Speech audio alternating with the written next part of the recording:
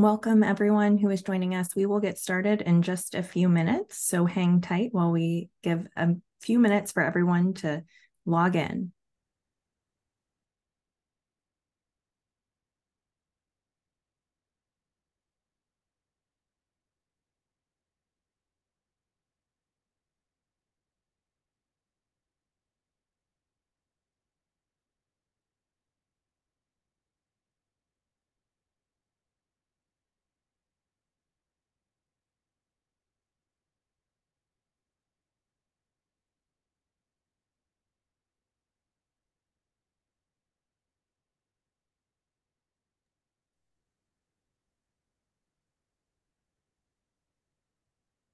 Well, welcome everyone. We are thrilled you can join us today for our webinar, Being Who We Say We Are Negotiating Power and Building Relationships in Food Systems Research. I'm Megan Lott, the Deputy Director for Healthy Eating Research based at Duke University in Durham, North Carolina.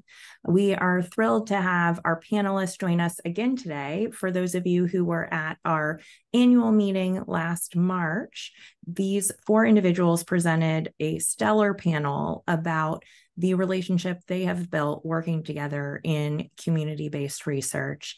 And we are thrilled to have them back again today for part two of that conversation, where we can dig a little deeper into some of the successes and challenges they've had along the way. Before we get started, I want to take a minute to go over some logistical notes. So please keep in mind that there is both a q&a feature and a chat feature in today's Zoom webinar. If you have any logistical challenges or want to communicate with the hosts or panelists, please do so via the chat function. However, if you have questions you'd like addressed in the Q&A portion of today's webinar, please do use the Q&A function at the bottom of your screen to submit those questions. Our team will be monitoring them throughout the conversation, and we plan to have at least 30 minutes at the end of today's webinar to address many of your questions today. So, as we get started, I am going to introduce today's moderator, Dr. Kelly Brownell. Um, Dr. Brownell is the Robert L. Flowers Professor Emeritus of Public Policy, Professor Emeritus of Psychology and Neuroscience, and Director Emeritus of the World Food Policy Center at Duke University. From 2013 to 2018, he served as Dean of the Sanford School of Public Policy at Duke. And prior to joining the faculty at Duke, he was the director of the Rudd Center for Food Policy and Obesity at Yale University. And he was also the James Rowland Angell Professor of Psychology, Professor of Epidemiology and Public Health. While at Yale, he served as the chair of the Department of Psychology and as head of Silliman College. Brownell was elected to membership in the National Academy of Medicine in 2006. And that same year, Time magazine listed Dr. Brownell among the world's 100 most influential people in its special Time 100 issue, featuring those whose power, talent, or moral example is transforming the world. And I think that is a very appropriate introduction for today's discussion, as he really used a lot of those qualities as he was spearheading some of the work at the World Food Policy Center here at Duke that kicked off this partnership.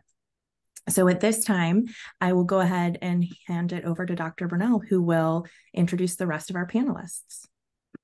Thanks very much, Megan. I appreciate the nice introduction. And uh, please accept my gratitude for um, arranging this webinar and uh, providing me yet another opportunity to interact with Aliyah, Camryn, and Jen. These are three amazing people who have really transformed the way I think about the world.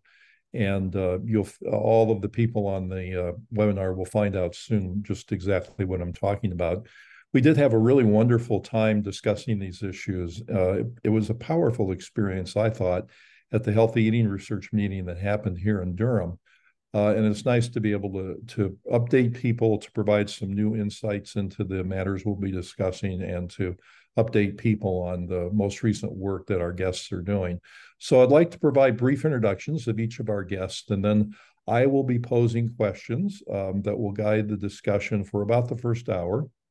And then we'll have plenty of time for questions after that. Um, and I look forward to uh, hearing from the people who are participating in this as viewers.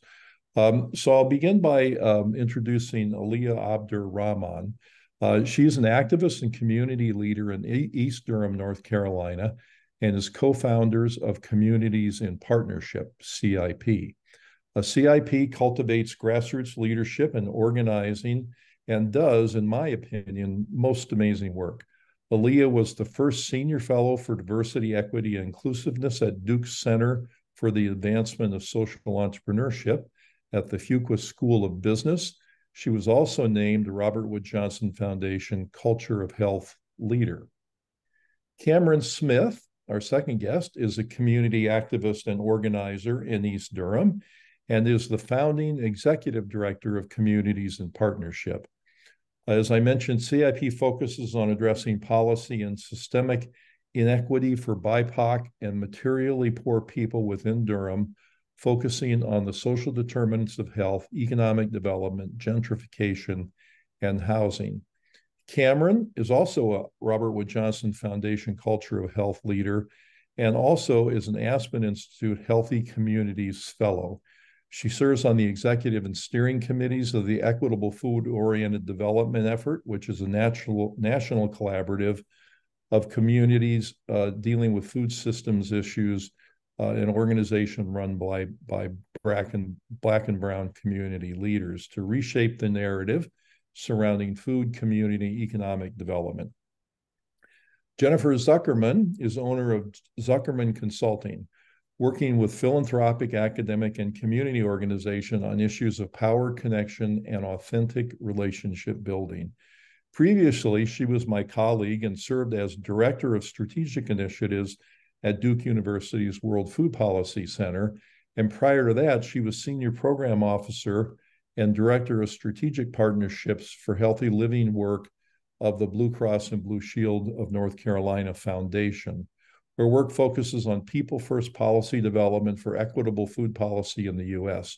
She served as board chair for the Sustainable Agriculture and Food Systems Funders Network and also as board chair for the Center for Environmental Farming Systems and is a, currently a board member of Communities in Partnership. So, Jen, Aliyah, uh, and Camryn, I'm really happy that you're able to join us today. I really look forward to an, an interesting discussion. Um, and lots happened since we had that meeting, which was only a few months ago in Durham. So it'll be nice to, to update people. So let me begin by asking this question. Um, can you explain the, the misalignment that you see between institutions like universities and foundations and community identified needs and solutions? And it would be helpful to provide some historic context for your, your views on this.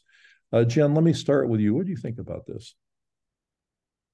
Thanks, Kelly, and thanks for that introduction. And I'm going to just kind of set the frame first around philanthropy and academia, because as you saw, or as folks heard from the opening, these are the areas in which I've spent the majority of my career. And my apologies on the front end if I'm drinking water as we go through this. Uh, I'm just kind of rounding out COVID and working on trying to get my voice back, as I know Camryn's also working to get her voice back. So we're we're fully here in spirit, and our bodies are still trying to catch up just a little bit. Um, so what I want to be really be able to do first is is name like the conditions in which we're operating both in philanthropy and in academia and really be able to like be clear about these realities because there are systems of incentives and rewards in both of these areas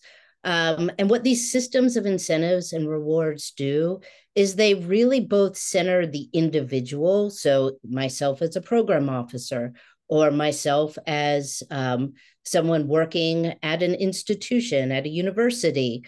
Um, like, what's the work I'm bringing? What am I doing? And what's my institution doing? So, what are those two things come first and foremost?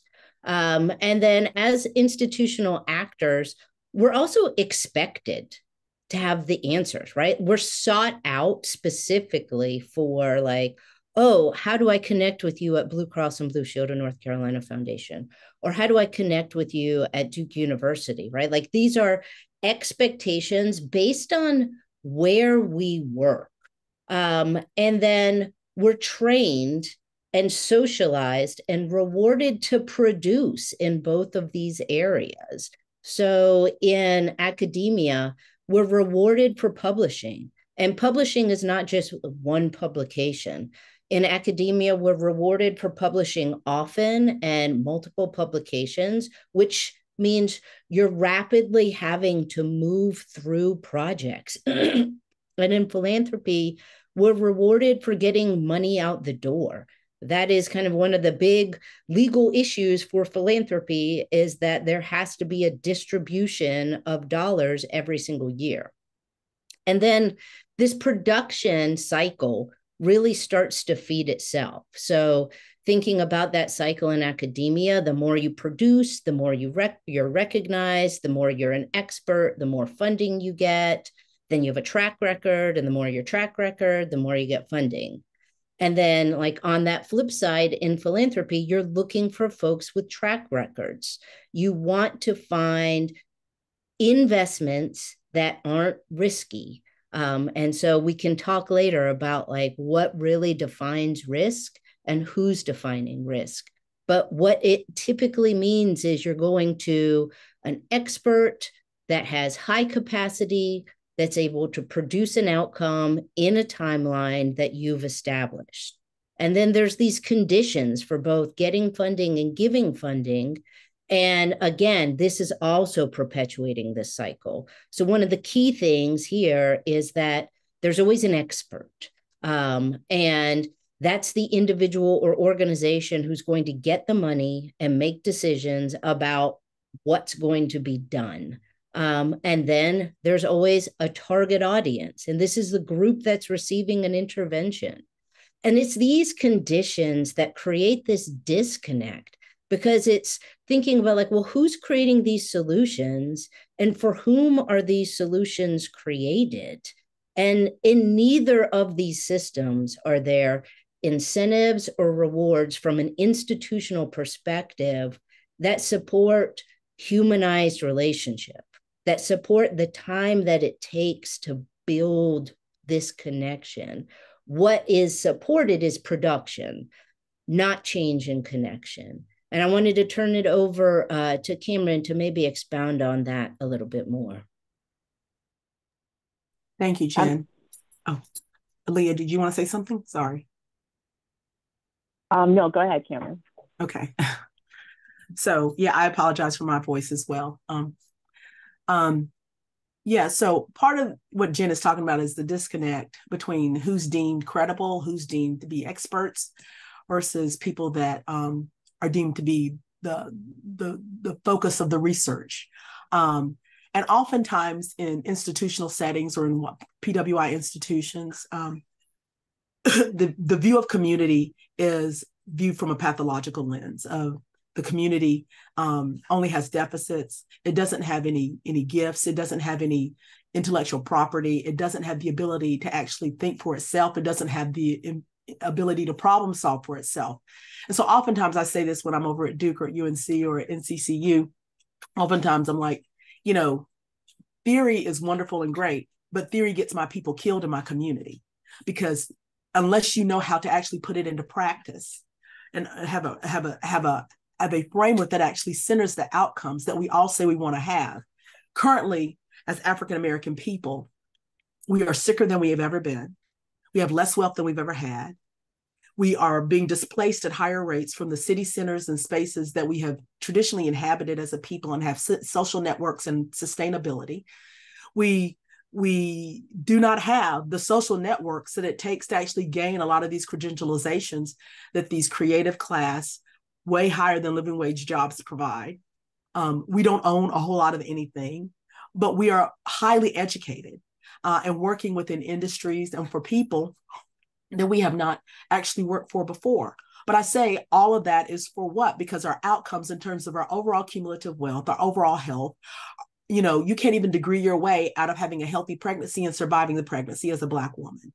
And so, what we have been doing is over and over and over again, putting the energy, putting the, the onus, putting the credibility within institutions and organizations that actually are doing work on behalf of, instead of looking at the communities as being a wealthy reserve for their own institutional frameworks for their own intellectual property instead of their own answers for their own problems. And it's made us sicker. It's made us poor. Um, it's made us a lot of problems exacerbated. And it has a lot to do with a lot of the problems we say we want to ameliorate. If you look at those institutions that Jen is talking about, when you look at the goals they state that they want to have, we've achieved none of them. And it's okay for them to keep on receiving money year after year after year simply because of who's receiving the money because I know as an ED, if I actually stated that I was going to have these goals and these outcomes, and I kept on failing at them abysmally every single year, and on top of it, people were dying, I would not be in this position. Aliyah, did you have anything to add to that? Yeah, just to build on it, um, I think that this is important for us to kind of zoom out. And so let me just start by saying, you know, I I'm a black woman who lives in a low wealth community. I come from uh, low wealth, and this is a pattern that continues to uh, hit our people, um, Black people, Indigenous folks, over and over and over again. And part of some of the work that Camryn and I do um, in Communities in Partnership is trying to develop our own framework and understanding for how these patterns exist so that as Black and Indigenous people, we can see it and strategize against it. And one of the things that we talk about with this um, is the system that we're actually dealing with when Jen talks about this system around um, who's been trained, rewarded, and conditioned, right, uh, to uphold the system, and then those that have been oppressed um, and have very few uh, sort of privileges, but are the recipients of this system. For us, as Camryn said, we're really talking about a system that hoards power, right? Uh, where decisions are made by people who have power. Um, and the system is never set up uh, for Black and Indigenous folks to actually get at root causes and be and be free. Um, so we think about this as a very common model for how institutions are set up, and even for how um, new ideas and solutions are set up. So if you are the expert, um, as Camryn said, you get to come up with sort of any great idea or experiment an intervention that's guided by your expertise, right? You're the credible one here. And all you really need is, is a community that's deemed lacking, right? Usually black, brown, poor. Um, and let me just like experiment on this community. And some folks may feel like that's harsh, but as someone living in that and the recipient of those uh, experiments, which we call programs, um, that's how it feels, right? We're being experimented upon. You can test out your idea or hypothesis as an expert. It may or may not work. It doesn't really matter, right? Um, because you're seen as the expert, uh, there's really no impact in terms of accountability uh, to this experiment. Your funding, your experiments, your abilities to uh, push your ideas then lead to policy decisions that really entrench the status quo and continue the oppression. And what you what I feel and what my people feel is really running back and forth between again program to program, experiment to experiment, and never really having our needs met. Um, of course, we understand our own challenges, right? Of course, we have the context. Uh, we're living our daily lives. We understand that our challenges are intersectional, but because we don't have the credentials, right, we aren't given the resources to solve our own problems. We're not given our own resources to test and take risks, right? Because it's very different if I'm taking a risk on myself and my community than if someone else is sort of defining what the risk factor is. We're not given time to take those risks, to reassess and try things on our own.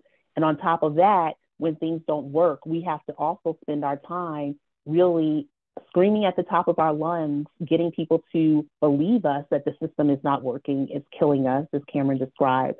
And so little of our actual focus gets to go towards solving our own problems, but instead really just surviving and protesting around what currently exists.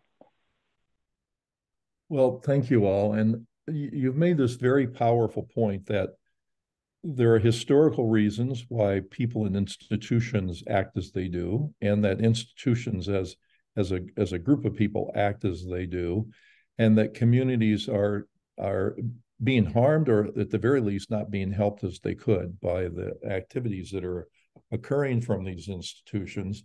And I can look back on the relationships that we've had as an example of this.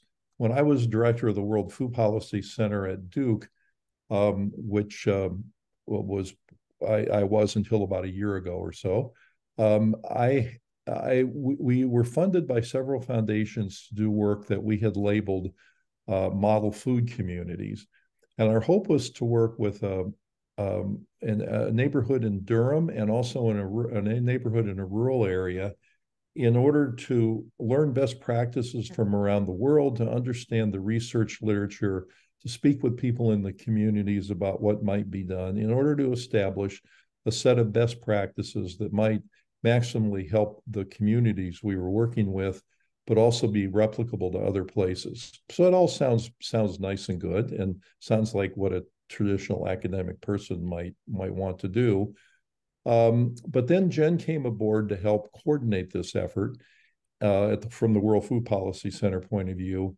And uh, we made connections with Camryn and Aliyah, a number of other community leaders in Durham and beyond.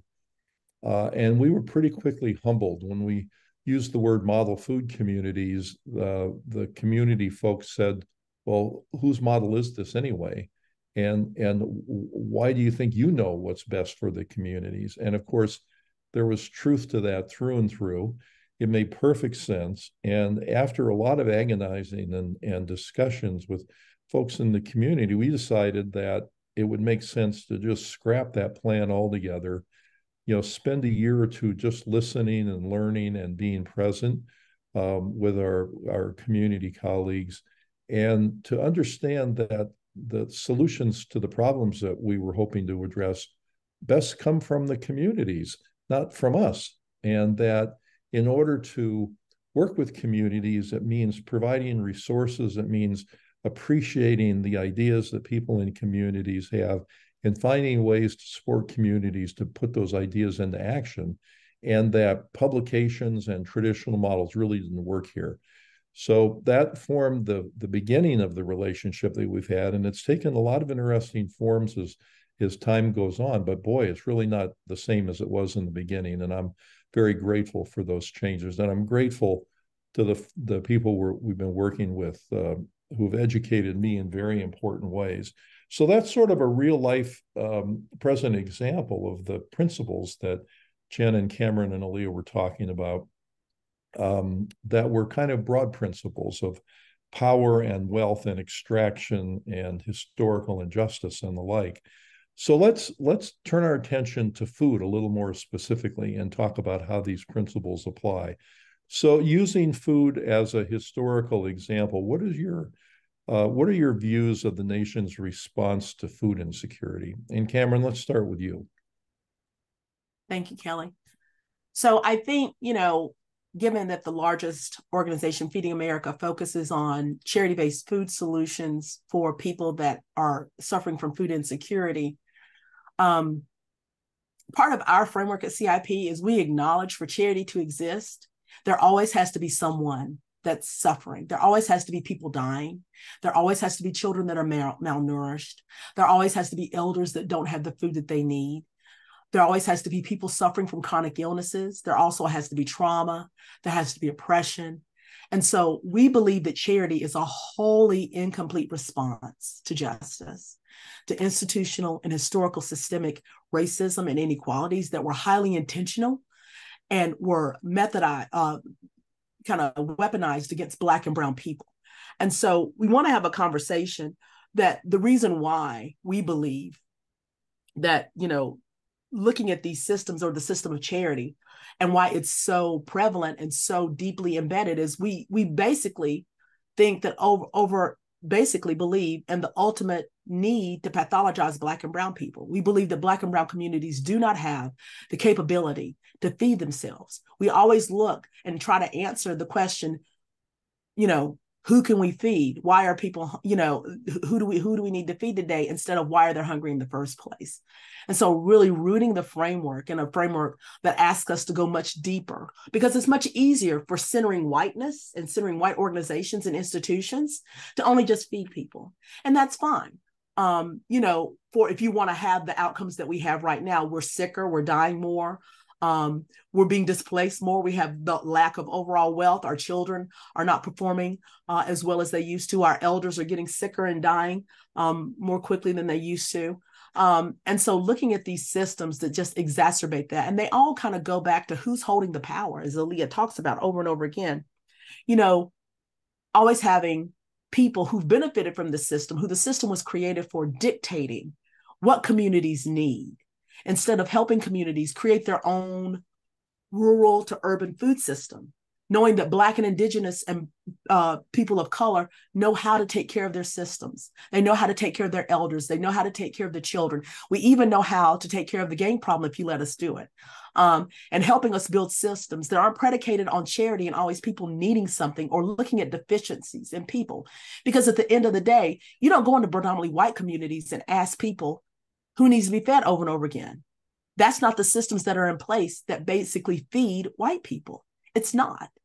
And so, what we're asking is, and especially in terms of looking at where the wealth was generated from and off of whose back stolen land, stolen labor, and stolen people. Looking at those systems and seeing how we can actually repair a lot of the damage that has been done. And you know there you know there's a common framework i've heard someone um who is very well listened to uh, in philanthrop- philanthropic circles one time, a white gentleman, say to me, We just can't give money to Black and Brown people. You expect us just to give money to them? We can't do that. And I'm like, Why not? Because look at the outcomes that we have right now. We are not doing anything and not being in any way, shape, or form who we say we are.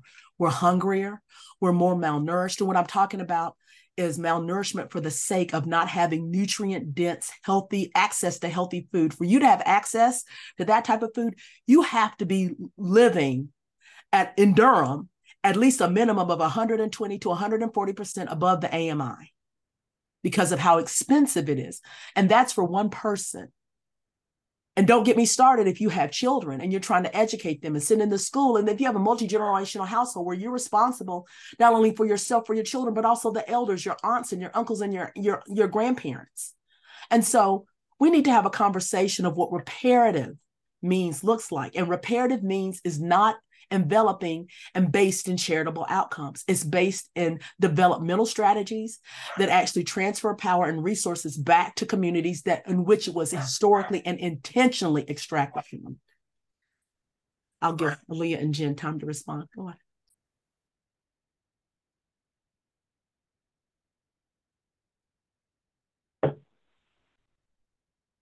Jen, do you want to go ahead? Sure. Uh, before I jump in, though, I just wanted to, um, Camryn. There's one point that you you mentioned briefly in what you just remarked on, and I'd just like you to just kind of expound on it a little bit more because it's it's really kind of the framing of our of our whole kind of time together today.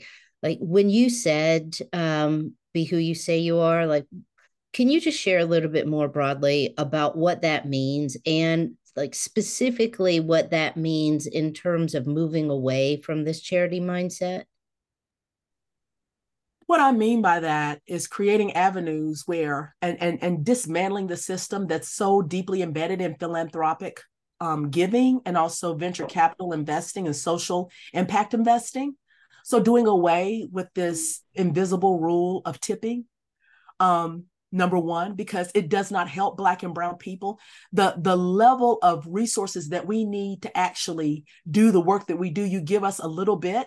It's enough what mariella sedania who's on my um, who's a part of EFOD with the work that i do with EFOD she says they give you just enough to fail and then you're pathologized for failing and so, stopping this ridiculous mess of looking at hundreds of years of historical extraction and thinking that giving an organization more than 20% of its overall budget is actually going to heal and actually repair, that's ridiculous and rooted in white supremacy and searing white comfort. Also, looking at reparative funding tr- strategies like at Justice Funders and other uh, other funders that are rooted and created by BIPOC people and communities. Uh, and EFOD, we have a fund funding our work through our own funding, community controlled funding mechanisms that we have funding community controlled finance versus CDFIs that are rooted in predominant culture capitalism and extraction and pathologizing Black and Brown people, looking at ways to be holistic and understanding that you need to trust. And I say, and I say this, yes, I am going to say this you need to trust women. You need to trust Black women. You need to trust Indigenous women. You need to trust, trust AAPI women. You need to trust Latinas and Latinx folk, FEMS to do this work because we are the most underfunded and we do the most work with the least amount of resources. So be who you say you are. Give us the money that we need to heal and take care of ourselves and our children because women will make sure that not only their households are fed, they will make sure that everyone in their village or community is fed. They don't, it's not just enough for them to provide for their own homes. It's an, it, it is, it I cannot sleep unless everybody on my team has what they need and my neighbors do too. That is the sole purpose of me doing this work and making sure that we're tearing down a lot of these these rules that we have that that basically make whiteness feel comfortable when whiteness was what created the problem in the first place. Jen, did That's I explain right. enough? you did. I, I want to just build on what uh, my good sis, big sis, um, has said because one of the things that I would often hear um, with white folks is like, well, white woke folks, right? That like, I want to do something, whatever. It's this whole like kind of stepping back. Well, I'm just going to let you all um, handle it, right? And so when Camryn says, be who you say you are, we're actually making like two really clear requests of folks. So, one, when she said, give us the money, right? And what we mean is the resources to actually be able to solve our own challenges. Um, that's the power shifting model that we're talking about here, um, one part of it. But also concern yourself with the work that you can do within the system that you uphold, right? So it's recognizing your own power. So your reparative strategies look like giving us the money, but it also looks like what are these conditions that this system that I uphold because I work in it, I'm part of it, I benefit from it, actually create for these Black and Brown communities that are oppressive, right?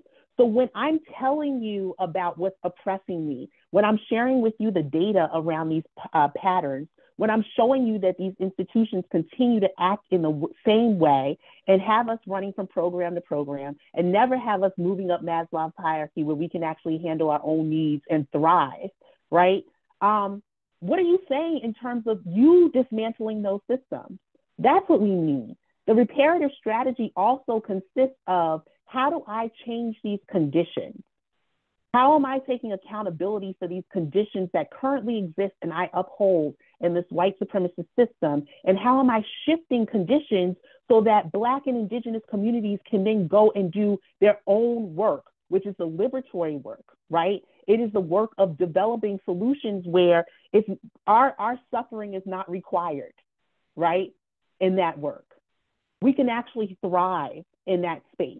And those are the conditions and the solutions that we're going to create. Because when Camryn says, like, you know, you just ask, you know, how can you feed people? How can you feed people means that people will still be hungry. We just need to feed more, which means you will continue to suffer, Black and Brown people, right? And instead, we're saying, nope, we're done with that. We've had centuries of that. Instead, we are trying to figure out what are solutions where we can thrive? And I cannot depend on you, someone who benefits from this system, black, brown, white, whatever, um, to now come up with solutions where I'm going to thrive. You don't know that. That's not your role. But what I can expect you to do and hold you accountable for is shifting the conditions under which your institution operates. And that's a very different conversation um, and one in which uh, people often don't want to be held accountable because the bar is so low for what you're willing to do when it puts yourself on the line, your work on the line. I'm going to pause there so that we can keep going. Food for thought. You know, I wanted to res- respond myself to something that that a theme that's come in this discussion, and the, the theme is what charity means. And because you know, in the thinking of the food context, the our nation's response to food insecurity has been totally charity-based approaches. I mean, all the money over the years, the trillions of dollars that have been spent on on SNAP, uh, WIC, and, and other government-related programs, and then the predominant community approaches, food pantries, food banks, and the like, are charity-based models. And very rarely do, do, do, people in our field stop and reflect on what does charity mean? Where does it come from? What does it represent? What sort of historical, unjust social structures does it perpetuate? Um, and what effect does it have on the people who are both the givers and recipients of it? Uh, and so if you look at look around our field at work that's going on on food insecurity, an awful lot of it is on making charity work better. Uh, it's on you know improving the, the the SNAP program. It's on making WIC maximally effective. It's on improving food standards for food banks, for example. And of course, if if charity is the predominant approach, then sure as heck we ought to make it work as well as it can. But that's not that's a lot different than stopping and saying, "Whoa, you know something's really flawed about this fundamental model." And instead instead of perpetuating and colluding in in its sort of power structure, let's stop and think about what might work different. And that's the sort of thing that our guests today really are are excellent at talking about. So I appreciate appreciate you guys bringing that up. Uh, Jen, I don't know if you had anything to say about this particular question before we move on to the next one. Yeah, Kelly, there's just a couple threads that I want to tie together. Um, you know, one of the things, um, and this is pulling on what Camryn spoke to about um, Black and Brown folks not getting funding. So I just want to be clear that 95% of all philanthropic giving goes to predominantly white institutions. Uh, so again, going back to saying like being who we say we are, um, our the resource flows shows we're comfortable. Um, and back to that system of structure of incentives and rewards we're giving to high capacity organizations who have a track record. Those are those 95%, because historically we've given money to predominantly white institutions. We continue to give money to predominantly white institutions. Um, and then also, I just want to name too uh, one of the things that Aliyah pointed out about resources again.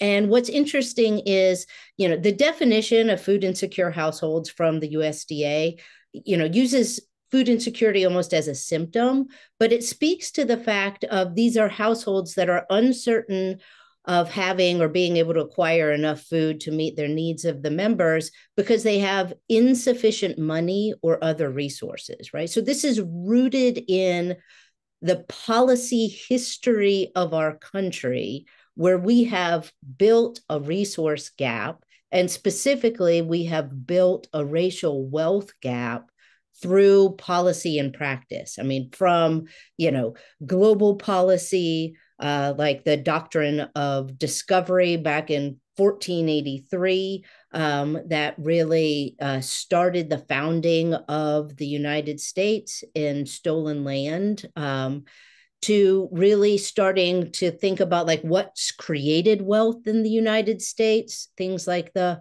Homestead Act that created 1.6 million landowners, and fewer than half of 1% of those were Black. Redlining, which created um, home ownership for the majority of white America and created this white middle class um, and less than 2% of federally insured home loans went to Black people. So, like, we've got this entrenched history of policy and practice, and it's it's constantly cycling. You can think about the New Deal, the GI Bill, urban renewal. Um, so, you know, we've talked about it before, Kelly.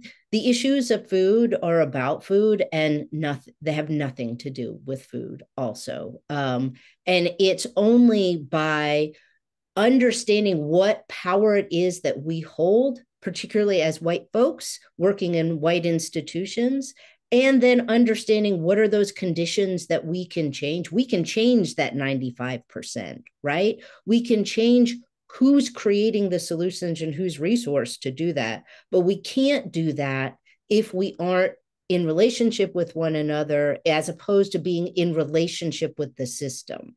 Um, so i'll turn that back over to you for some further questions. So, Jen, the the point you raised about where the philanthropic uh, giving is is made, uh, our uh, the ours working together is an example of that. I mean, our project, the World Food Policy Center, got funded as if we knew the answers to what food insecurity was in the community and how it might be addressed. The money was given to us to work with the communities rather than the communities to work on their own solutions.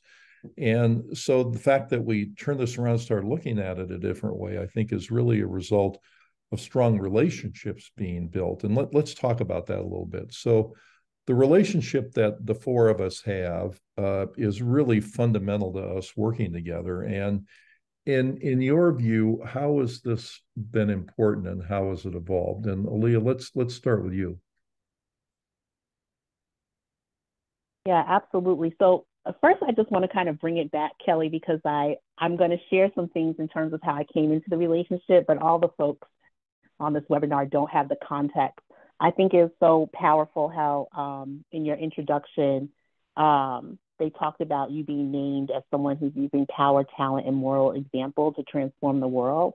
And I'll have to say that like that's such a beautiful thing to hear, and I will say that I have known that to be true um, over the course of our relationship and I I want to honor that um, because when we entered into the relationship, I didn't know you, right? It was just a white man, and I was like, mm, history of my people has not shown me that this is going to uh, really go well, that he's really going to get where we are, and and so that's how I walked into it, rightfully so, because I have centuries of evidence, right? Um, and to now be in a different space with that um, and seeing like how the relationship has that accountability there and how you have worked to transfer your power, um, I feel able to say these things and share with folks um, in terms of how that has evolved. And so I do remember when we first came into this relationship together and you started talking about this project that you wanted to do. And the way that you were describing it was really around listening to the wisdom of Black women um, and while I appreciated everything that you were saying and doing and meeting with us, I remember for like the first year being really triggered by that. And I was like, what does that even mean? Right? Like, I'm taking a certain way. What does he mean by that? And for me, this sort of idea of like wisdom, um, I feel like in, in white systems, institutions, uh, the context of that is like, you know, liking to see us perform, right? Like our trauma on display. And as a result of all the trauma we've had, there's some wisdom there, right? And, and there, there's a space for that, right? And there's a truth to that in terms of um, our ancestral history and what we've learned and what we've been through. And then there's also a space of like, uh, we are also credible as experts, right? We've got the data. That's what we're really talking about here. And so the frameworks and ideas that we're coming with are backed by, you know, thousands, hundreds, millions of proof points. Um, and I think oftentimes when we are uh, engaging with or collaborating with institutions, it's seen more from like uh, representatives of trauma and pain versus representatives, uh, representative experts with millions of data points behind them. Um, and that was really important, like to get across in terms of the frameworks that we're doing, bringing. We're not just bringing our pain and trauma, we're actually bringing this data and we have some ideas and solutions in terms of how to move forward. Um, and what I experienced over the course of that is you being open uh, to that conversation, um, which was a powerful conversation for us to have. But more importantly, even though you didn't always understand where we were. What you did was you used your resources and your networks to get us into the room and a seat at the table to actually talk to folks in the philanthropic community that have all these entrenched ideas, as Jen has said, right? And allow us to sit there and put all of your weight behind um, these new ideas and frameworks and solutions, right? And to say, actually, that thing that I had come up with, that's not what we're going to fund. We're going to fund this thing over here. Um, and I think people really need to understand that's power shifting in action, right? That's what we mean when we talk about equity, right? Um, equity is a tool to shift power. And that's what we're talking about there.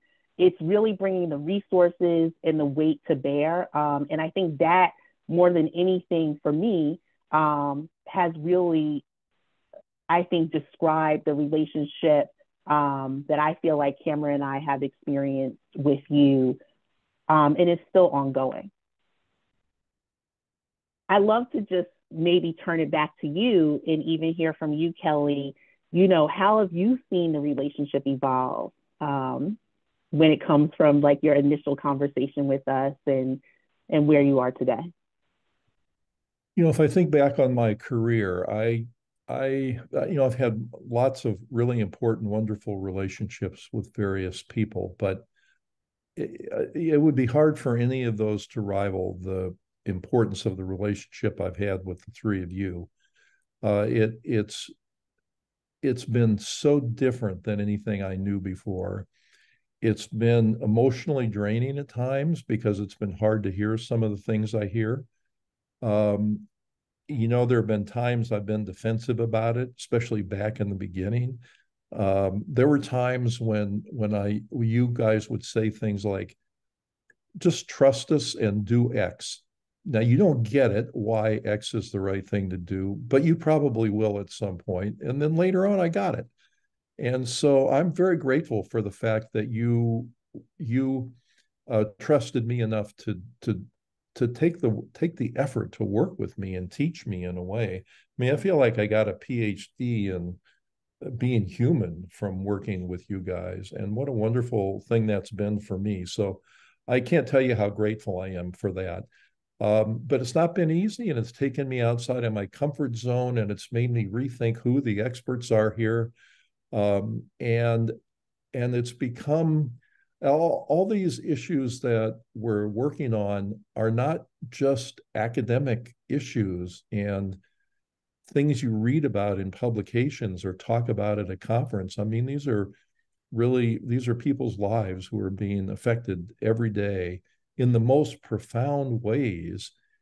And until one appreciates that, it's just hard probably to do the work right. So I'm I'm very grateful. I'm I'm sort of humble in your presence, and I'm I'm grateful that I've learned as much as I have from you, and I hope that continues on for many years. Um, so Aliyah, thanks for weighing in on that. And um, Camryn and Jen, would you like to say anything else about the importance of relationships and how these have evolved?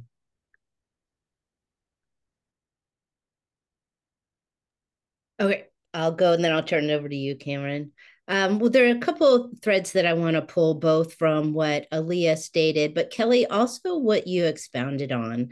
Um, and one of those things specifically is, um, you know, I want to acknowledge Kelly. Um, you said I didn't always understand. Um, and that you were asked to do things um, when you didn't always understand. And this need to understand is so endemic in our institutions, right? We have to see all the reasons and it has to make sense to us from our framework for us to make any kinds of moves. And you can never shift power if you insist on making it work for you. Um, or also if we're so busy protecting our feelings right? Because you said also like some of these conversations have been really, really hard. Um, and we have to think about like, oh, okay, well, am I going to spend the time and energy to make people make me feel better because I'm feeling some kind of way about something? While like the real the reality is we might be feeling some kind of way, Kelly, and people in Camryn and Aliyah's neighborhood are dying right? Like this is the reality of the difference of what we're focused on. Um, and what I've really learned over time is, you know, coming into this work with my relationship with an institution and institutional work and what it's meant to really shift that like what i've needed to understand differently for myself not for camryn and aliyah to teach me but what i've had to come to understand differently um, is really how in institutions like what we do time and time again is like we really sit in our intent um, and we use our intent like you know i didn't want to hurt anyone. I really meant this to benefit your community you know i thought what i was doing was the right thing right? Like we tend to just really stay in that intent and then we don't focus on any of the repair because that repair is conflict that repair is confusing for us. Um, we just exit because we can because we hold the power. Um, and what I've learned so much is that like using my good intent as default and deflection only creates more harm. And that really this building of a relationship is as much about unlearning like everything I've been socialized to do and know and understand as it is about learning. So, you know, for me, when I have my feelings come up, which I do every day, like I'm always asking myself, what am I protecting? Right. Because it's typically a way of being that I've always known that I'm protecting. Uh, and then I start to question, like, how do I understand whatever this issue is or this situation? How have I been conditioned to understand it or rewarded to understand it? And then start to ask myself, like, how might I understand it differently? And this is all like work, while I'm in accountable relationship with Camryn and Aliyah and you, Kelly, like that work is work for me to do. Um, and it's that starts to allow me to understand like what am I holding? What's the space that I'm creating? Um, and the conditions that I'm creating. And with Camryn and Aliyah, like how do we do it differently? Um, Cam, I'll let you wrap us up. Yeah, I just wanted to, you know, kind of focus on Kelly talking about having a PhD and being human. And sit with that for a moment. Because these systems require us to, di- to disconnect from our own humanity. And Kelly refused to disconnect from his humanity and entered into spaces where he could regain his humanity, even if it was uncomfortable, even if he didn't see even if he couldn't understand that that's what happened.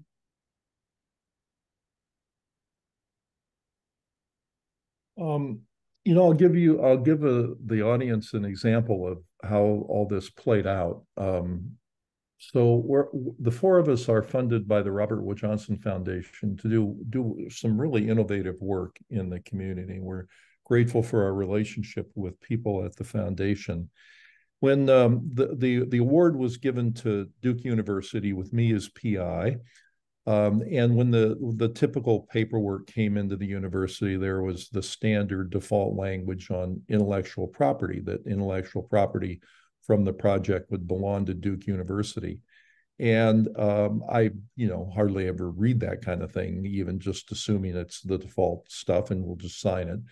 Um, but uh, Camryn and Aliyah did read it and uh, got back to us and said, wait a minute, uh, you're not going to be generating all the intellectual property, and why should you own it? And there's been a history of some of our intellectual property being stolen, and we need to rework this this information this agreement. And my response is, oh, let's not rock the boat. You know, the foundation's not going to want to have lawyers going back and forth on what's a pretty standard understanding and we all trust each other and everybody will get the credit they deserve and things will just work out. And so you know Aliyah was talking about millions of data points and those are data that camryn and Aliyah had because of their history with this kind of thing that i didn't have. And so um, you know they said you don't get it now but you will at some point so just trust us that this has to be redone And so the Duke University lawyers got an education in why this was important. And in some ways, it helped set a different standard within the university that could potentially be important in the future. Uh, and then later on, sure enough, I got it and it, it made sense to me. So having access to those data points, that collective experience that people have, helps us look at things in a completely different way, which leads us away from traditional models and things. So I'd like to move on to a different topic because a lot's happened since um, we all convened in person at the Healthy Eating Research meeting. Um, so specifically, I became professor emeritus after that, and another director was named for the World Food Policy Center. And I just wanted to mention, even though uh, both programs are at Duke University, the World Food Policy Center is not connected in any way with healthy eating research. So the new director of the World Food Policy Center refocused the center on traditional research, ending the community work that we've been discussing. And in, in terms I learned from you, Aliyah, the institution instituted. Um, and each of us has experienced this in quite profound ways. And I'm hoping you can all explain what your reaction to this has been. And um, Camryn, how about if we begin with you? Oh, Aliyah, was Aliyah supposed to? Well, I'm happy yeah, to go. I, I, will just speak to that. I'll just go, speak to that do. for, for just so a moment the term, um, before yeah. Camryn. Yeah, I mean, what I meant by the Institute instituted is that the Institute did exactly what we expect a white institution to do, right? So we are talking about Duke University. Um, it is the largest employer, um, I believe, in North Carolina. Um, it is situated in Durham, um, but Black and Brown people have been working at Duke, um, right? Um, since it was founded, they've been working for the family uh, since we were enslaved. and so this relationship with the institution is not a new relationship for us this relationship with the institution is hundreds of years old, right? And you can replace Duke with any other white institution um, in this country and even think about this globally. Um, and so when you talked, uh, Kelly, about the IP conversation that we had in the beginning, and I was going so hard, and I was like, no, no, um, because what our experience is, is that like we're constantly producing IP. That's all we do. That's all we have done since we came to this country is produce intellectual property. Um, and when we're trying to create frameworks, right, um, that is that are going to lead to our liberation and our thriving, what we have learned, especially in this new age of DEI, diversity, equity, and inclusion, is that those things will be co-opted and changed, right? And then when they're tried out and they don't work, which inevitably they're not going to work when a white institution is going to put them in place and have all their folks behind it, then we're pathologized again because it didn't work. We tried it and it didn't work, right? And so it's like we have to maintain our own thoughts, right? When we talk about power, we're talking our IP is our ability to to create something for ourselves. That's our regenerative power, literally to create something new that doesn't currently exist and to challenge the systems that oppress us. And we were like, we'll be damned if this institution gets our IP that we're creating, blood, sweat, and tears, right? Um, and then tries to, to say we own it. And just as we expected in this relationship, you know, we knew that something was going to happen to challenge our ability to work together because that's just what has happened, right? We're trying to be in this relationship with a white man, a white woman, trying to do this. We're all kind of learning what this looks like. We're trying to create up new systems. We're trying to hold the institution to account. We're asking you all to create new conditions. Um, and we expected that there was going to be a challenge, right? Because the institution, the role of the institution is to preserve itself. And the role of the actors in the institution, regardless of race, is to uphold the institution, right? And so anytime you're trying to do institutional organizing, and what we mean by that is to actually challenge the system internally and dismantle it you better believe that the system is going to fight back. Um, and so that's what we were talking about when we said um, we wanted to have some strategies in the beginning because we didn't know what this was going to look like, but we knew it was going to come. So we said we're going to own our own IP. And when we're talking about the funding, right, for roles and stuff, we want the funding to follow the people, right, that we're in relationship with on a daily basis, that we're regularly learning and growing and expanding our thinking together um, and not sit with the institution. Um, and so that's what we meant by the institution is instituting. It's doing exactly what it was meant to do. And as um, Black people, in this case in particular, we have to be aware of that because we have to be playing chess here. Um, and so we have to know what this means on the front end. Camryn, I'll, I'll let you share. You know, I'd love to hear from Camryn and Jen about oh, this. But let me say one thing in response to what you just said, Aliyah. Um, you know, this this feels like steps forward and steps back, and it's again, it's a matter of data points. All I saw were the steps forward, and I didn't anticipate the steps back. You did. Uh, when the discussion of intellectual property is an example, because you have a different set of data points than I have. And there's a gravitational pull for institutions behaving like institutions do. Uh, that came into play in this particular case with this university in this community in a, in a really unfortunate way, in a profound way that had pretty devastating consequences in some cases. Um, and I should have anticipated that and thought of ways to make things more permanent when I stepped down, but I was only seeing the steps forward. So again, a matter of data points, and people like me need to understand what those data points are that your collective experience has had. So, uh, Camryn and Jen, what are your thoughts about this? Yeah, so you know, I think a lot of like like Aliyah and Jen have talked about, our IP has been co-opted, and what people don't understand is we paid a heavy price for the IP that we've been able to develop, and so we don't do this we don't develop IP separated from our humanity. It's not a part of our job description. It's not. We develop IP, quote unquote, from the experiences of living in our context, in our community, in our homes with our people in our community. So we have, because of that IP,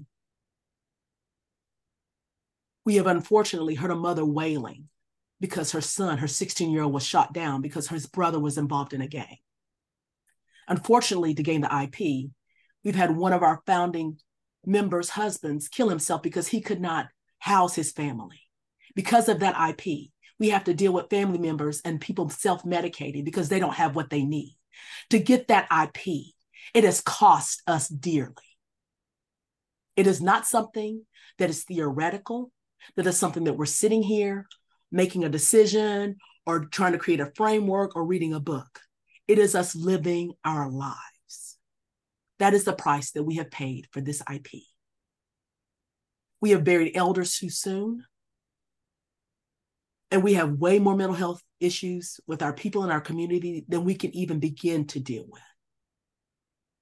And so I think that's very important to talk about that. That's the cost that Black and Brown people pay for the innovation that we think up and the intellectual property that we actually develop. And that's the reason why every time it gets into the hands of predominant culture people, it fails because you don't understand that. And we literally know what's best and how to operationalize the frameworks that we come up with, the methodologies we come up with, the language that we create. That comes from a place that whiteness created that we have to be in and live with our people. And so it's also a level of high disrespect and dehumanization to extract that from us over and over again. And so please be respectful of Black women and Black men, brown women and brown men, all folks when they're doing this, especially when they're accountable to their people. And also, let me just go on and be very clear. So Kelly is no, you know, we we do not have a relationship with the Duke Food Policy Council. I'm just going to put that out there. And part of this work is having these difficult conversations. There's not relationship. There's not trust. There's not the same level of operationalizing these ways of moving and being in community. And that's okay. But I will say being very careful as Black and Brown people, making sure that we are stay connected to our people in our community. That's a very important thing that we have to maintain and do.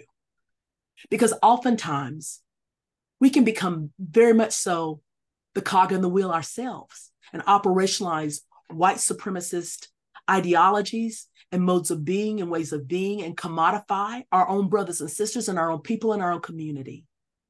And so at the end of the day, we have to understand that going into communities and extracting IP, and I am so grateful to Aliyah and Kelly and Paul Tarini at Robert Wood Johnson Foundation and Jen, because Paul was very insistent. Once he he said we need to do this because he need he wanted to do this so that Robert Wood Johnson could use this as a best practice of how to do truly community engaged scholarship. You have to understand that this comes from us. And that when you take it and you distort it, and even if the leadership is someone of color, if there's not a connection to their people and their community and in an understanding and how to operationalize in a way that builds trust and relationship, then it just all ends up with the same thing, which is more of the same, which is not what anybody that's on this panel right now wants to actually experience or have. And we are not saying this in a way to be able to quote unquote drag anybody or anything. We're just saying this because this is the reality that CIP is experiencing. Jen, do you want to have final on this? Yeah, thanks so much, Camryn. Um, you know, this has been, as Kelly alluded to, you know, a, a profoundly difficult experience. Um, and one thing that I just want to state from the beginning is, you know, as all of uh, these changes have happened, um, I absolutely have um, felt like the ground was taken out from under me. But what's been so wonderful, actually, about this is that I feel absolutely held in place with community and relationship.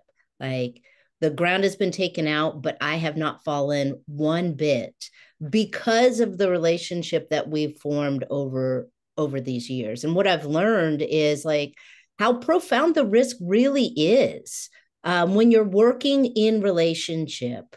Um, but that when you are working in relationship and it is an authentic relationship, you will choose that relationship in spite of the risks involved because there is a cognitive dissonance that comes up of choosing to support the institution as opposed to actively knowing that a choice that you're going to make is going to harm people because of your good intent like that's too much to bear um, and I want to be just explicit for institutional folks on the webinar. Like the risks are real.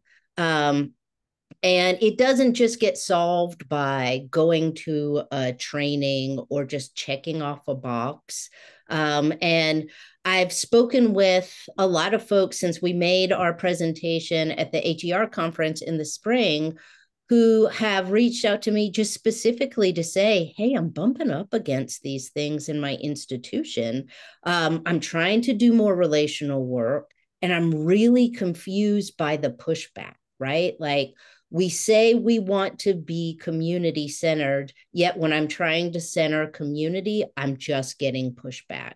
And that's kind of as both Aliyah and Kelly mentioned, like the institution is instituting, right? Like that kind of shift, that kind of power shift is very difficult because the policies and practices of an institution will protect the institution. Um, and so, if you're feeling this, if you're feeling cognitive dissonance about what the institution's saying and what you're trying to do, like that is real. Um, and I want to be specific um, with the the risk and the impacts for me. Again, like I lost my job. Um, and it's because I was not producing the volume of peer reviewed research that denotes success within the academy. But i that cognitive dissonance like i could not create like rapid fire research output because that would have been on the back of Camryn. That would have been on the back of Aliyah. That would not have been. It takes time to co-create.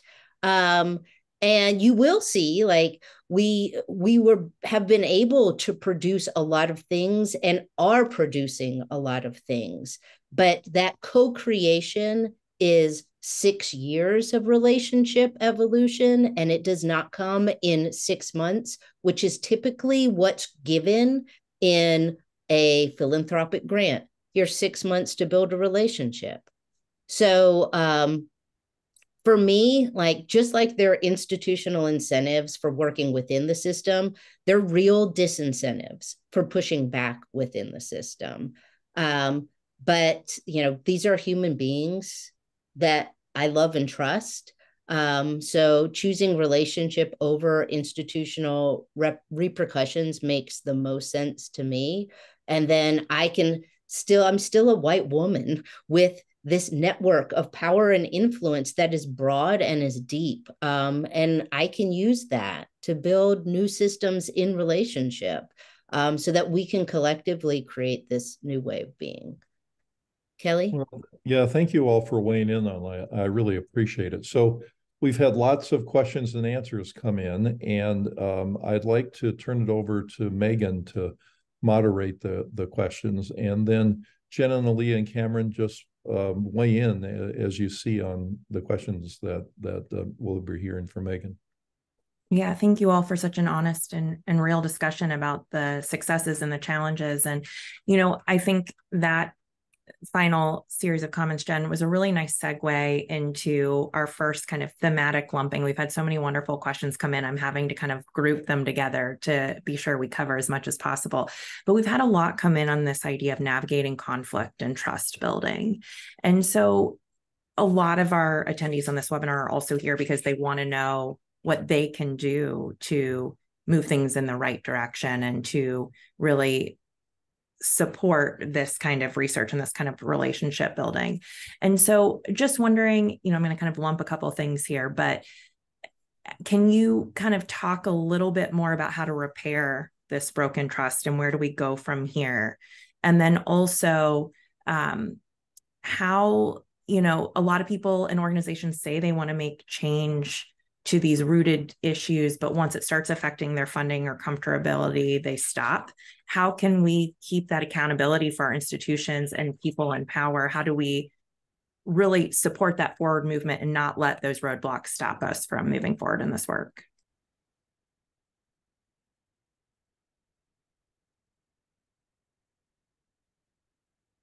Can you say a little bit more, Megan, about the repairing for trust? Was there anything else? I guess it's just coming up, but were there some other details that people asked around like how do you repair the relationship? So I think really let, let me give I'll put it in my con- like context of how I'm yeah, thinking about yeah. it as I interpret the question. Um, perfect example world food policy center at duke is one one section of duke a totally different school than where healthy eating research sits we're within the mm-hmm. duke global health institute had it not been for our existing relationships and connections to Jen and Kelly, we would have no idea about any of this, mm-hmm. but could be trying to work in communities. And so we're going in and want to try to build genuine, authentic relationships that really do help with that transfer of power and really truly are um, working to to engage the community as partners in in the full meaning of this of the word.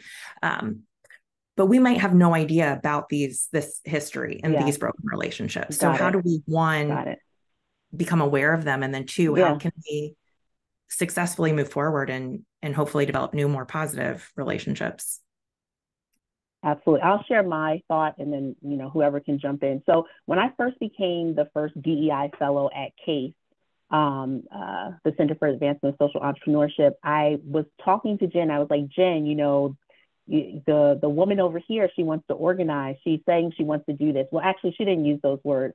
But i was really asking jen can you pull your people together? And it was particularly white women right? And it like baffled me that Fuqua was off the uh, across the street from Sanford and nobody at Fuqua was working with anybody at Sanford.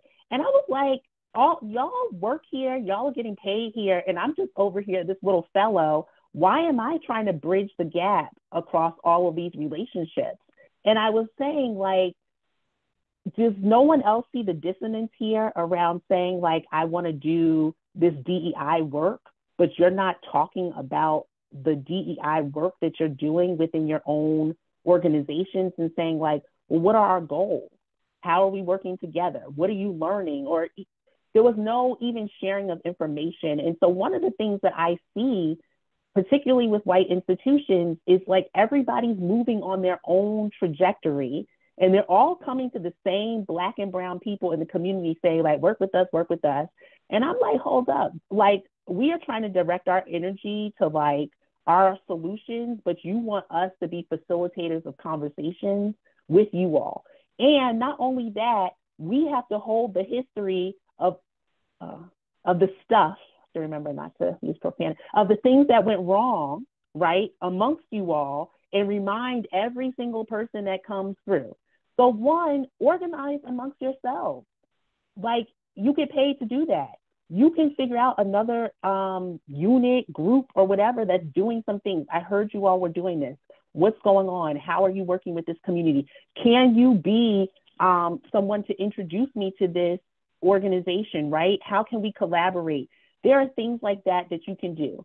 Also, don't be ahistorical, right? If you know harm is happening and you know institutes are going to institute, that means your institute has already instituted do a little bit of digging and research around what has already gone wrong so that when you come and you want to work with me, I'm not having to tell you the story and trot out my trauma and all of this. It's a waste of my time and it's highly inefficient. So I think just those couple of things around organizing amongst yourselves and also learning what has worked and what hasn't worked and also looking for an ambassador to bring you into these conversations with um, community rooted Black and Brown organizations will be a good start. Great. Along those lines, you know, you mentioned it's not quite as simple as just going to a training or just reading a book. And yet, I'm wondering if there are some resources for people that are really just starting down this path of asking themselves these questions or wanting to learn more are there resource resources you would recommend people consider in terms of you know dismantling racism from within or thinking about dismantling systems from within and just like what are the are there any good reflections on like really the good questions to be asking just to help people get more educated on some of these issues and topics yeah so this is my answer is directly connected the two questions together. It's really important not only that researchers, academicians, and institutions train themselves and, and begin a learning journey and learn for the sake of not to get an outcome, but to actually be a decent and good human being. That's the reason why you want to do this, is because you want to work on yourself and your own humanity. And while you're doing that, also give communities the same opportunity to enter into conversations that center themselves in their own liberation and so being like we have community rooted trainings in our you know with with with our with our training arm which is dei works. And so we have we have trainings on philanthropy. We have trainings on um, white institutional culture and for white folks. There's a lot of different trainings that you can actually receive but you have to have a different mindset and framework because it's all about not just taking the training for the sake of the training. It's about having developing a learning arc and, a, and an ability to continue the learning to claim your own humanity and to move forward and to operationalize what you're actually learning and not just checking off a box and so I see that that's a huge issue. A lot of times, institutions want to have a training for the sake of having a training. That's not why th- this way of being is very different. You want you want to learn a different way of being so that you become a better human being. And then you want to actually give the communities in which you want to partner with and and and to help them seek more liberation to give them the tools that they need as well. So that's what it's about. Yeah, and one thing I just like to to kind of build on. I mean, there is, you know, Aliyah spoke really specifically to this, but as like folks working in institutions, and this is also going to be Uh, Camryn's part of a um, a book chapter that we wrote for the um, second edition of Nurturing Food Justice, talking about specifically the actions that institutions take.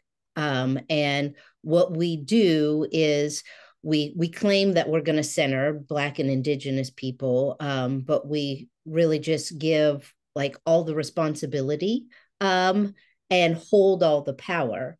Um, and then conflict and harm is going to happen. And i think we we think institutionally oh if i just attend the right training it's all going to go so smoothly everything's going to tied up in this nice little bow. And that is not what happens. What happens no matter what is that there will be conflict.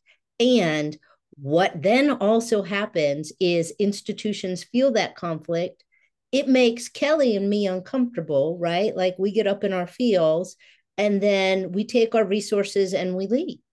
Um, so the biggest part of it is staying in it, um, right? And you build the relationship through the conflict and understanding, like, had to heal from like being humble and not insisting and understanding that, like, oh, there's something I need to understand about myself and what I have brought into this conversation. So, like, that's work I need to do for me. Um, and, you know, something that has been really helpful for me in terms of understanding, like, all right, what is Leah talking about when she says, like, these conditions we've created? Like, reading Stamped from the Beginning um, by Ibram X. Kendi speaks specifically to the conditions we've created and recreated and recreated over and over again. So, like being really clear, um, you know, again, institutionally, we say, well, I didn't create the policies. No, but I benefit from them, I uphold them, and I recreate them. So, always thinking about like both how am I upholding this existing system and how might I move differently is also this mindset shift that we need to get into instead of like pushing our ideas forward. And I'll add one thing because it's not going to work for everyone. And then when it doesn't work, don't keep on using a language that you're doing something that you're not. Be truthful about where you are, own it, and do not try to com- conflate working towards equity or outcomes that actually center Black and Brown people when they actually do not. Just be truthful and be honest about where you are. Thank you all. We have also gotten a lot of questions on this topic of academia or philanthropy and you know what what would rewards look like in academia or philanthropy for work that is reparative or community led versus publications and giving money to conventionally established and credentialed orgs you know or if that's not a good starting point um, since it doesn't actually address the institutional power or supremacy relations are there other ways we should be thinking about this? Yeah, I can say something about that since it's the world that I live in. Um, you know, in ac- academics, uh, I mean, I think most of us who are in academic settings want to create impact at the end of the day. We want some good to happen out there in the world from our work. But we have a, an unusual way of defining and measuring impact. I mean, it's all about citations and you know, there are fancy indices now to measure how many citations you have and how many people are reading your papers. But somebody from the outside would look in on this definition of impact and laugh at it. I mean, it doesn't mean the world's getting better just because people are reading your papers. And so a broader definition of creating impact, I think, is really needed in academic settings. And um, you know, this kind of work I think is really important to be done. It needs to be done in academic settings. Academic settings need to retrain themselves to address these issues in a better way. And it means thinking of impact in different ways. It means considering a broader view of de- impact in the way you make hiring decisions, in the way you retain faculty members, and in the way you do promotions in order to reward this kind of activity. Um, and so uh, I, I, think it really thinking through that whole impact of def, uh, definition of impact is an important part of this process. Yeah, Kelly, I'll build on that from the philanthropic perspective too, because I think, you know, there there's all of these false narratives within philanthropy. Um, and the way that we frame it is this this concept of benevolent control. Um, and this idea that because you've got the resources, you've also got the solutions. Um, and that also um, that again back to that need to understand that you need to understand you know what's being brought to you in order to make any kind of investment and the we have to flip what we're talking about uh, in terms of like this definition of risk to me the definition of risk is uh, if we keep doing what we're doing like all that's happening is the racial wealth gap is growing the racial health gap is growing, right? Like people are dying as a result of what we're doing. And we say, like, we're trying to achieve the social impact. There's no data that proves we're achieving any level of social impact or social change. To so to me, the what we're doing is the riskiest thing we possibly can by investing 95% of our resources into predominantly white institutions and predominantly white solutions. So flipping that risk to saying like if we don't if we don't make the recommendations like that camryn and ali have spoken to in terms of investing in um, community rooted led and accountable liberatory solutions and we're doing the reparative work as institutions by giving the resources um, and like leveraging the power that we have for this change. Like that's what we need to do differently. Mm-hmm. And let me say this where my people are currently, it says more that we have more wealth than we've ever seen in the history of this world. And we are dying faster, more needlessly from preventable situations and causes than we ever could. It says more about the people that have actually the power to change that than it does about the people that are actually experiencing it and who are systematic, systematically over and over again pathologized. That you're okay with us dying, that you're okay with us not having what we need, that you're okay with us self medicating, and that that is okay for communities over and over again to be divested from just because they're black and brown bodies. And black and brown bodies ultimately can be dehumanized and used over and over and over and over again. We know what we need. We know what's best for our people. We know what's best for our communities. You're talking about taking a risk. What's the risk? There's no risk returning to us what was extracted. There is no risk to that. We have earned it over and over and over and over again. I am not asking. I am saying, be who you say you are and give us what we need so that we can survive and move to thriving and stop this whole thing that's built on something that requires for us to always be in a position of asking for something that we should never have to ask for in the first place.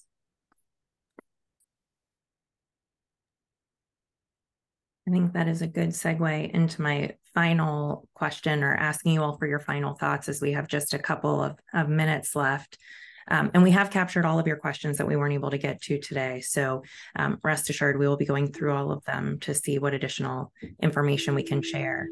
But really thinking about, you know, with all of this as background and how do you think about new models and approaches? Where should we be going from here? If there's one thing you'd want people to take away from today's webinar um, presentation, what is it? Or if you have seen really great examples in academia or philanthropy that you want to highlight, this would be a great time to do that too. Yeah, I, I'll speak to it really quickly. Um, the research arm of Communities in Partnership is Innovation for Liberation. And we have um, Black and Brown activist entrepreneurs who uh, have power shifting models that they're enacting. And we're all working together under a shared vision and the different organizational strategies to sort of get to the outcome that we want, which is an outcome where we're thriving, our communities are thriving, and we're experiencing freedom now not one day, not someday in the future.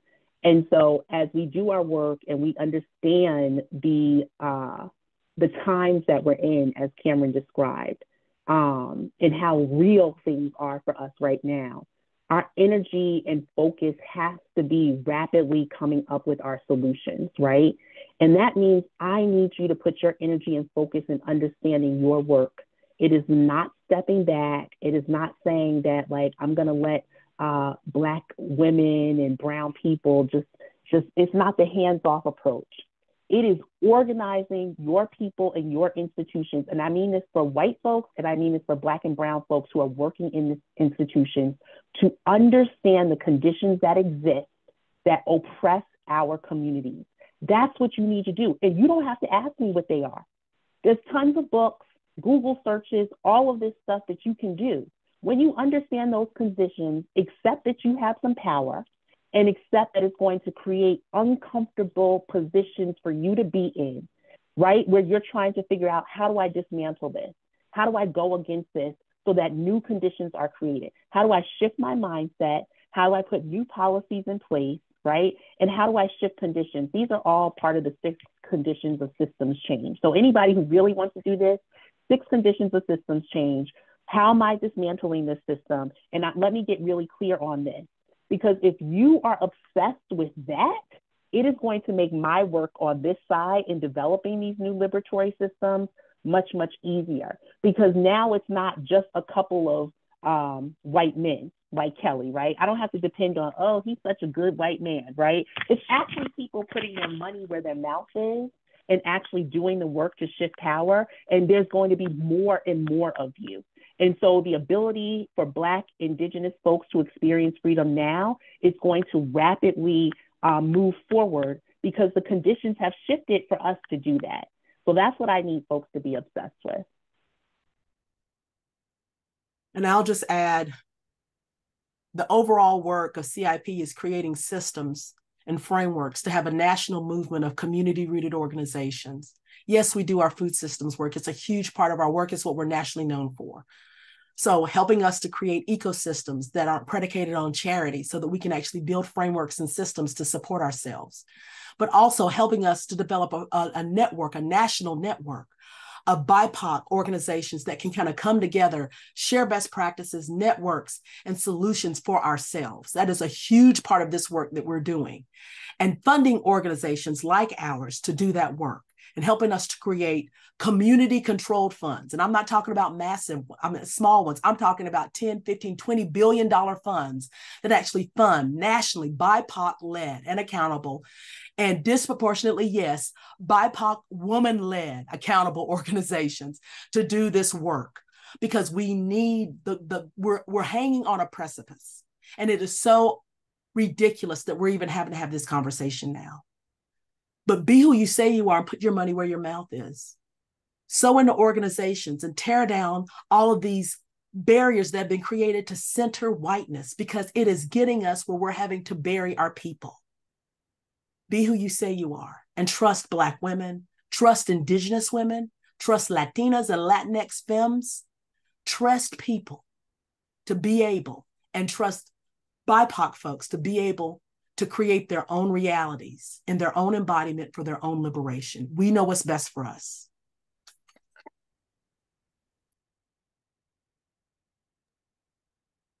Anything else you want to add, Jen or Kelly? Okay. Well, thank you all so much for attending today's webinar. We really appreciate all of our panelists for sharing this incredibly important information, for sharing their stories. And think you we will have more information about each of them and their work as well as the recording available on our website in the coming days. Um, if you're less familiar about healthy eating research you can learn learn more about us and our work at healthyeatingresearch.org thank you so much for attending and we look forward to seeing you on the next webinar. Have a wonderful day everyone